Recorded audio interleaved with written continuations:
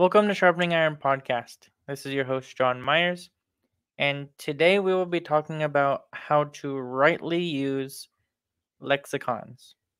Now, if you're unaware of what a lexicon is, in the context of this discussion, a lexicon is essentially the production of lexicographers, people who have dug deep into the Greek language and have sought out the meanings, the different possible meanings for specific terms. And so we can talk about agape. Agape is the Greek term for love. And there's different ways in which you can understand that type of term. and so a lexicon is going to tell you a bunch of different ways in which you can understand that word. Okay. And the lexicographers did this by digging deep into the biblical and extra biblical literature to determine the ways in which it has been used. Okay. So that's all lexicon is. What I believe is misunderstood about lexicons is lexicons are not dictionaries. They're not meant to be, you know, this word means this thing in every case. That's not even what a dictionary does, right? You know, that's not how you're supposed to use a lexicon. However, unfortunately, there are some who do, in fact, use lexicons this way. And so I want to use an example that was done on Kevin's channel. So let's take a look at this clip and let's see if we can spot the error. Let's see if we can spot it together. So here is the clip. Let's see what Brother Grahame has to say about 1 Corinthians 2, verse 14. So there's passages that they like to use that was actually brought up in the article. They said the natural man. And so what he's doing is he's quoting from First Corinthians chapter 2. So let's briefly go to First Corinthians 2 and let's give our perspective on this and why we think that they're misusing this. Right. So this is an assumption that Calvinists make is that natural man means an unsaved person. But if you study First Corinthians 2 carefully, natural man does not mean an unsaved person. And let's start with First Corinthians 2 14. But the natural man receiveth not the things of God. Now you can assume, oh, natural man means us before we're unsaved. That's not Paul's point, as we shall prove shortly in 1 Corinthians 3 1, because he uses natural man to refer to believers. But we'll also go into the Greek. But let's read it in the English first, at least in the King James English. For they are foolishness unto him. By the way, that word literally means moronicness. They are moronic unto him neither can he know because they are spiritually discerned. Now, the Calvinist assumes so, therefore, they have to be regenerated. They have to have a new spirit to be able to understand. I'm going to disagree with that. Let's go into the Greek for natural man. And the Greek for natural man is psychikos, and it literally means of the soul, the suke. This dictionary agrees with me that it's to be contrasted with the pneuma and also contrasted with the body or the physical, the flesh. Right? So it's translated as natural, but I don't think that's a good translation. Right. Because what about the soul is natural as opposed to the body being natural? Right? Both of them are natural, in the way that we use natural today. In fact, the um, materialists would claim that the soul isn't even natural, it's just imaginary, right? Only the physical is natural. So, this is a really confusing way um, to understand things with the modern usage of the word natural. So I don't, and and Kevin agrees with me. He's highlighted it in orange as well. This is not a good translation for the way that we use English today. Also, I want to point out. So, Paul. Okay. So before we continue with what Kevin says in this next part of it, I hope you guys caught it. He brought up a word study, which is the product of lexicographers and people who are digging deep into exegetical literature and said, well, this term, in some cases, means of the soul. There are cases where psychikos means of the soul or with reference to the soul.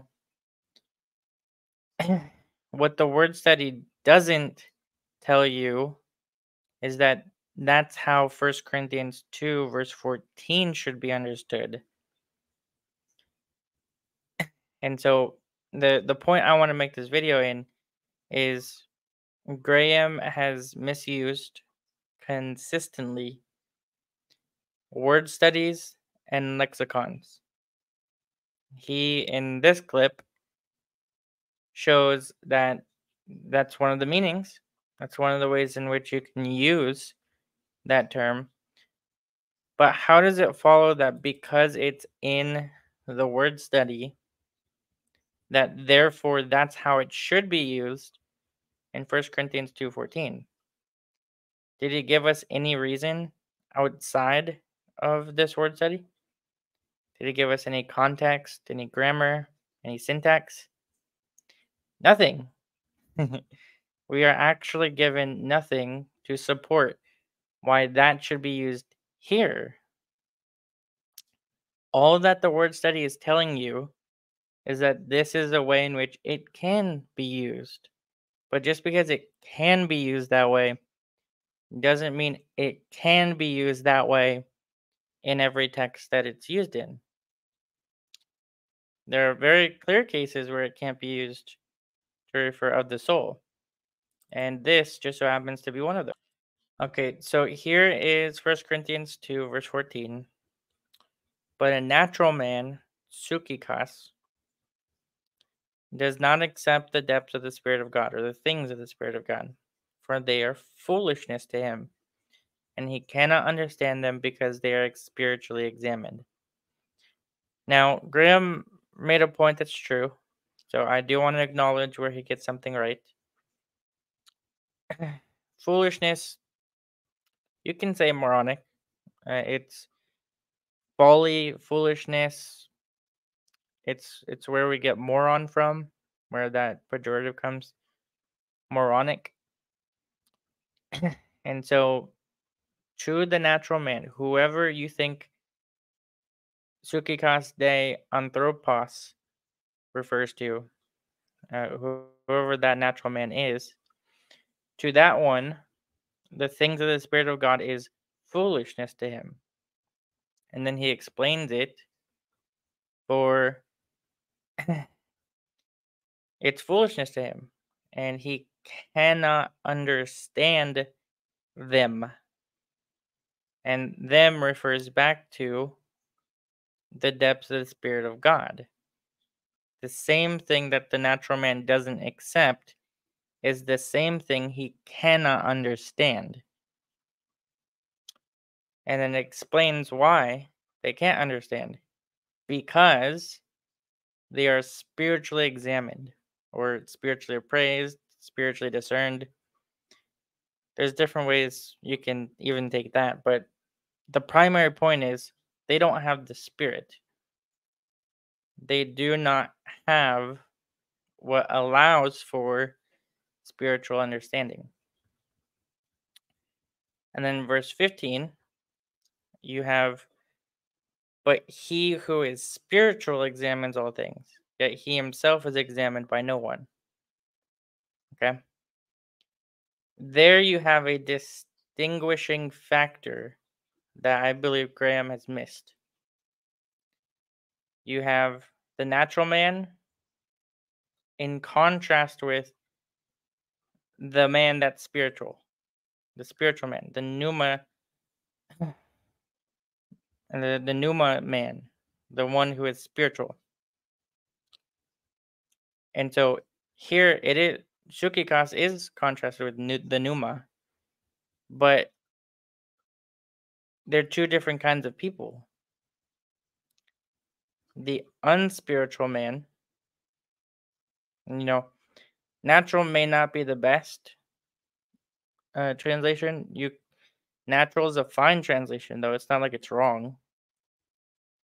But I would say the best translation is unspiritual man because it's contrasted contextually with the spiritual man who examines all things. The unspiritual man doesn't accept the spiritual things, and he's spiritually examined himself because he does not understand and cannot understand those things. So there you have a categorical distinction of persons the spiritual man versus the unspiritual man. Now, before we go any further, it's really important to note this text is not distinguishing the old man with the new man. This is categorically distinct persons. A natural man doesn't accept, but the spiritual man examines all things. Okay? It's a distinguishing of persons, not a Christian who still has the flesh and in his flesh does not accept the spirit. Because the language is just it just is distinguishing different people. And the reason why this is further reinforced in the context is because Paul began this train of thought in the first chapter, in verse 18, where he says, For the word of the cross is moria to the perishing ones. However, to us who are being saved, it is the power of God. Okay? This is a beautiful text because it refers to us who are being saved. We it's the power of God. The the gospel is the power of God unto salvation for us. Whereas to the perishing ones, those who are perishing, it's foolishness. They cannot understand it. There you have distinguishing persons. I'm being saved. It would you would be voiding this text of meaning if you're to construe this as my flesh is perishing but my spirit's being saved. you know, that's that's not the point. To those who are condemned, to those who are perishing, the gospel is foolish. But to those of us who are actually being saved, the called ones, the gospel is the power of God. That is the beauty of First Corinthians 1 and 2. We are called by God, and it is precisely because God has called us that we have no reason to boast. Everything has been done by God and God alone. That's the beauty of it. The text has nothing to do with old man versus new man. The text is distinguishing different persons and expressly says the unspiritual man or the natural man does not accept the things of the Spirit of God, for they are foolishness to him. That's exactly what he said of those who are perishing in the first chapter. It's foolishness to him. But we wouldn't say that we are being condemned. So it couldn't be referring to Christians. That's the issue. I do believe Grahame's misunderstanding of the lexicon has made him think that First Corinthians 2 is about Christians. Now, I'm not entirely blaming him for that. A lot of Christians make that mistake with lexicons, and I've made that mistake too in the past. But we must accurately understand lexicons. Lexicons are not for the purpose of giving us a univocal myopic definition that's to be used in every case. And so, once again, when he pulls up, well, this can mean of the soul. Therefore, it should mean soul in First Corinthians 2:14 isn't actually an argument that follows. Simply showing that it can mean that doesn't prove that it does mean that in First Corinthians 2. That now whether or not it proves Calvinism is another discussion. But when it comes specifically to how you are to handle lexicons, this is a primary example of how not to handle it. May God be honored and glorified. I hope you guys enjoyed this. Soli Deo